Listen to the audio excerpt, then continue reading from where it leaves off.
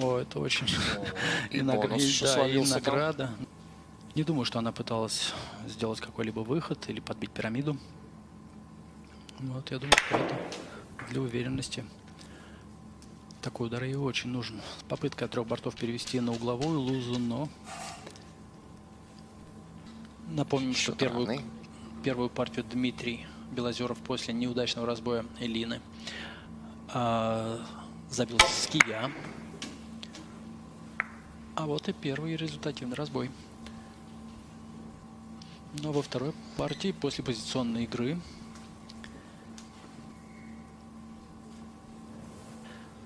Да, на первый взгляд кажется, что позиции совершенно раскрыты. Близко стоящих шаров друг к другу не так уж и много. Здесь очень важно сделать хороший выход. И Лина будет играть с переводом.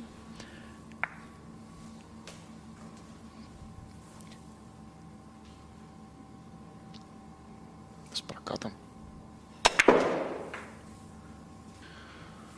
Ну, наверное, все мы как бы живые люди.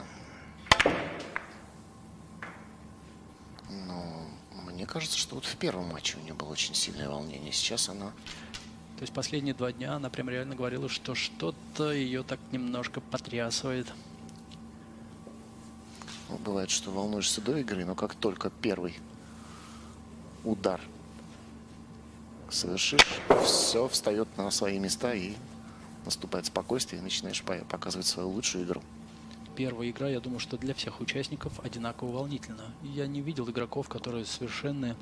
э, ну, конечно, говорить могут, что не волнуются, но на самом деле мы это знаем о том, что волнение присутствует абсолютно у всех. Это телевизионный проект, это телевизионная игра. Всем хочется выглядеть максимально хорошо в телевизионном, на телевизионной картинке.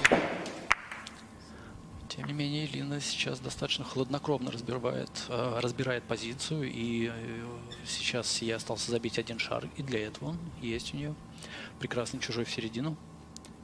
Выход уже делать не обязательно.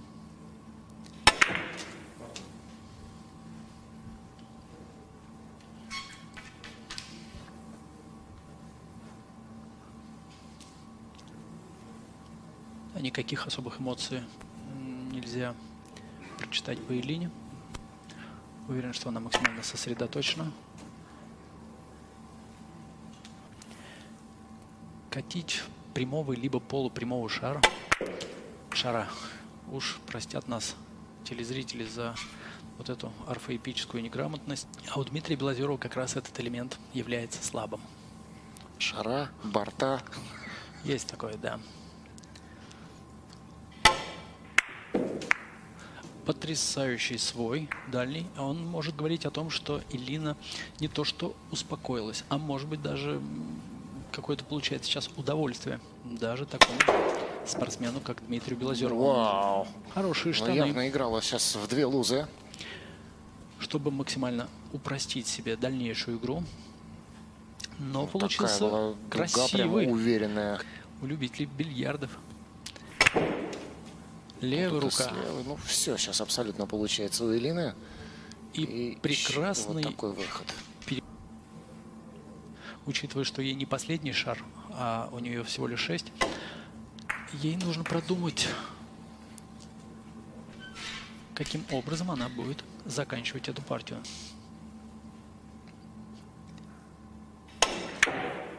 Нет. Не... В принципе, в этой партии ну, хладнокровие Илины просто поражает. Казалось бы, только что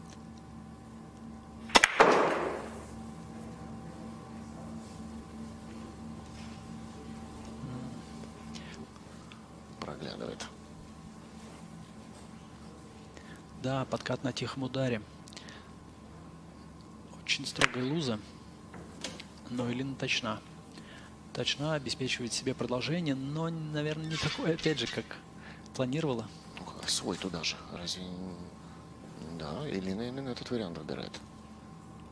В основном спортсмены строят свою серию через чужие шары. А свояки это чаще для подбоя пирамиды. не было, да? Да, совершенно верно. Да, Артур бдительность судьи... вот такую парочку себе открыла. Бдительность судьи заслуживает уважения. Подмечает такие вещи. Ну, для Лины это очень хороший шанс. Плюс великолепно исполнила элемент, о котором мы уже говорили. Сейчас Откат на тихом ударе. Ну, загадывать сложно. Попадает в резку она чуть больше, чем хотела.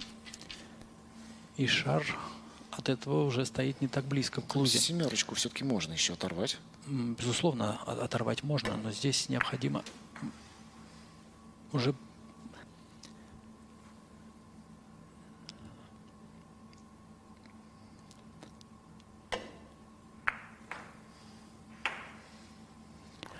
Ну, а все остальное? А все остальное мы будем смотреть, комментировать, болеть и переживать.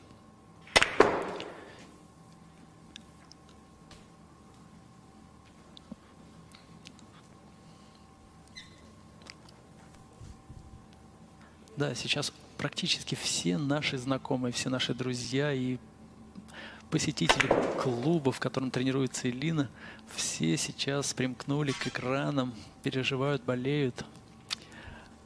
А как важно сейчас Элине а, показывать хороший уровень бильярда.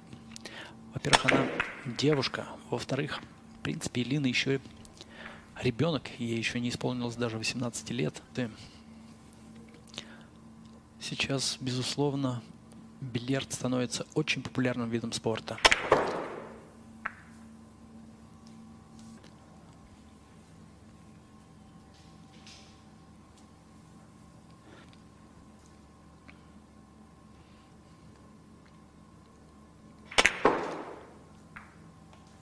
Потрясающе играет, но, казалось бы, кто не дрогнет после такого натиска от Белозерова? Но нужно, нужно сейчас 8 собрать э, с кия и линии, чтобы немножко так вернуться в игру. Это вот, вот эти качества, которые закаляет бильярдный спорт.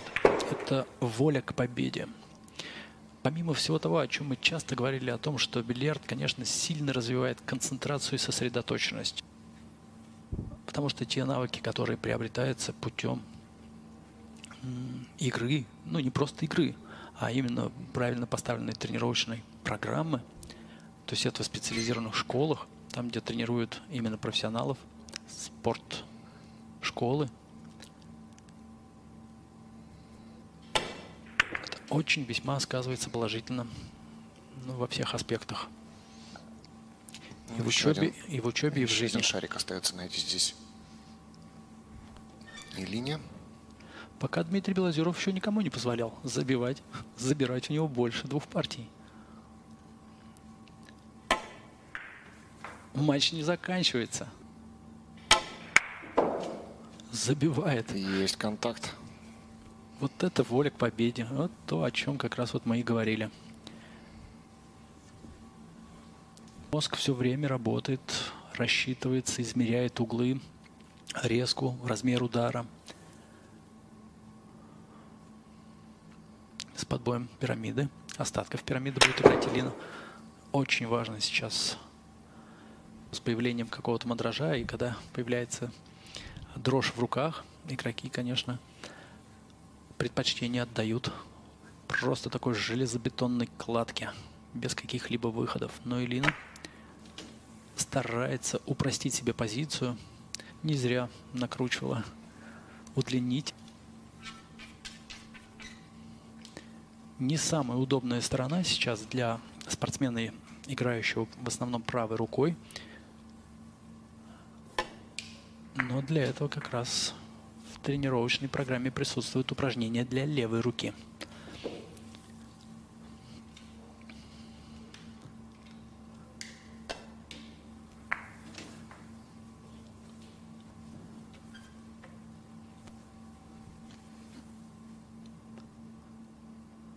Один раз, наверное, лет пять назад.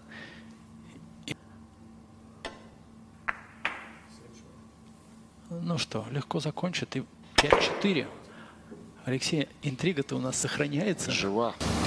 То есть, если есть шар более-менее, ну, скажем, больше 50% вероятности, то, конечно, ну, надо свой, свой, наверное, да, вот этот тоже левый. Смотри, второй рукой. Молодец. Оба игрока владеют Обеими руками. Отлично. Вот сейчас четко было, да? Правое верхнее вращение, шаг немножко по дуге с винтом прямо туда. Понимание, да, все Ой, а красиво так природа шара. Почему вот новые комплекты шаров имеют э, шар, э, желтый шар э, с красными точками, чтобы четко было вот эти все винты видно, ну, красотища. Снова свояка опускают. Да, это очень сложный свой, Разбивает. очень важный элемент в американку, в свободную пирамиду, очень важный элемент. Ну вот, справилась с нервами. И это показатель, кстати, э, психологической устойчивости.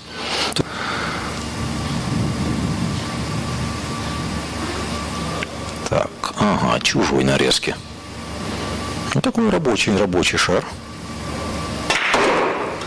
А, ух ты, вот это выстрел. Вот это выстрел. Ну, била без выхода. Ну, американка это ее называют от бильярдных, ее называют. какой вариант они выбирают? Ну, вообще, честно говоря, Тяжелейший шар. Ну это, ну это, да еще и с подбоем, ну это вообще 5 баллов. Как говорят, много сукна. Вот про такие шары говорят, сукна много. Ну, то есть длинная дистанция. И, естественно, когда на коротком дистанции ну, небольшая погрешность, она не сказывается. Чем дистанция длиннее, тем больше сказывается погрешность удара.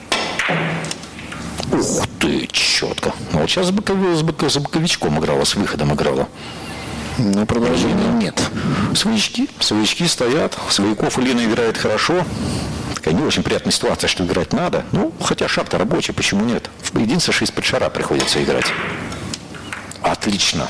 Молодец. Справилась э, с нервами Илина. И, ну, а где подарок? Где подарок? Нет подарка. Ну, еще своя, кстати, такой же стоит.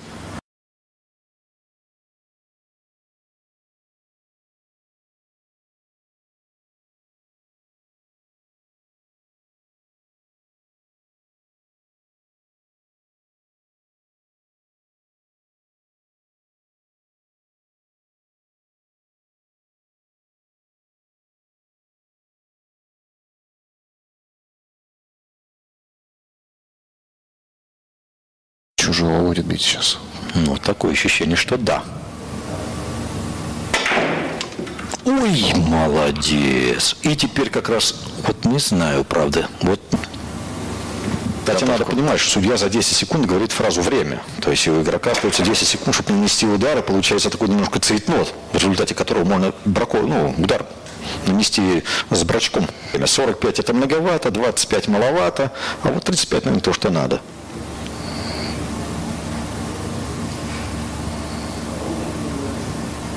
Будет подбой кучи? Нет, не попала, а хотела. Ну, извиняюсь, что так называем пирамиду кучи, ну, вот, опять же, бильярдный сленг. Очень достойные игроки. А, Во-вторых, вот это наш любимый в кавычках коронавирус, он немножко, конечно, сбил наши планы. Состав игроков изначально должен был быть немножко другой. Вот. Ну, получилось как получилось. Я считаю, что получилось очень хорошо, красиво играть. Тем более вот встреча между мужчиной и женщиной всегда немножко вызывает споры, повышенное внимание. Ой-ой-ой-ой-ой-ой-ой. Ну, вот сказать, что там проблемы какие-то со столом, но вот так вот получилось. Ну-ка, ну-ка, ну-ка, ну-ка. Лег шар на борт или не лег? Если Ох, плотно сыграла Елена. ну, если шар плотно на борту, то, конечно, сложно забить. Если шар не плотно лежит на борту, то свой вполне играется. Нет, шар не плотно лежит. Вот э, есть есть, зазор пару, пару какой-то. миллиметров. Поэтому должна Элина такого заби- забить. Есть, есть, есть, есть. 4-3. О, У них сначала играют группами, и потом уже только Олимпийка. То есть они все время с группы начинают. Это может быть более правильное. Молодец, Элина, молодец. Ну вот, я хочу сказать, сейчас, конечно, психологическое преимущество на ее стороне. Она вытащила очень нужную партию. Сейчас забила с разбоя. Я к тому, что нет кучи подставок. Я заметил, что Дмитрий Белозеров листочки разбивает. То есть такой тонкий угол. И бьет чуть нижнего винта, видимо, дает, чтобы шар отскочил. Отличный выход, кстати. Шикарный расчет. Вот.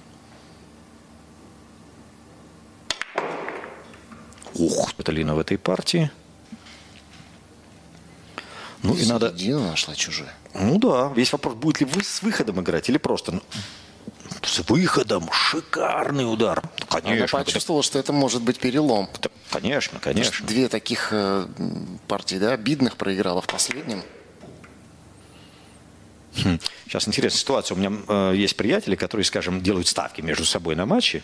Вот. А большинство как бы ставок за э, Артема, причем с э, коэффициентом там, где-то 1,5. Ну, кстати, наверное, неплохо, если букмекеры придут в бильярд. Это тоже поддержка. И кто-то из букмекеров может и спонсором стать. Все может быть. У снукера, кстати же, букмекеры спонсоры, насколько я помню. Ну, естественно. Вот. Ох, как он... Поскольку бильярд Как очень... мышка в норку просто он туда. Отлично, отлично. Ну, дай бог посмотрим. Но я хочу сказать, что если в ближайшие года два русский бильярд не пробьется на телевидении, потом будет тяжело, конечно. Все-таки нелегкие времена сейчас финансовые наступили. Оп.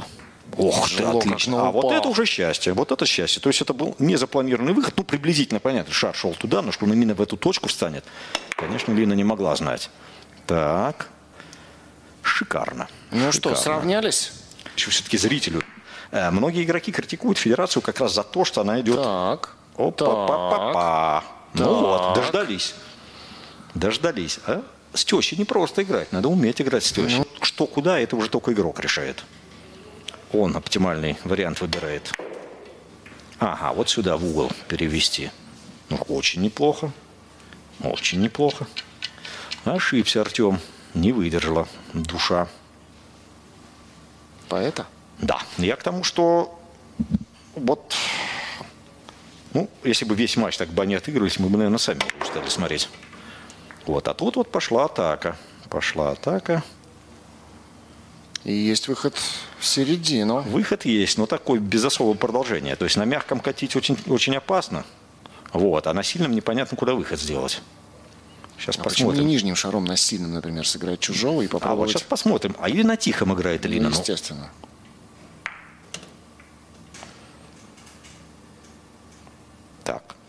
Ну, Все-таки в середину. Да, мне кажется, отыгрывается.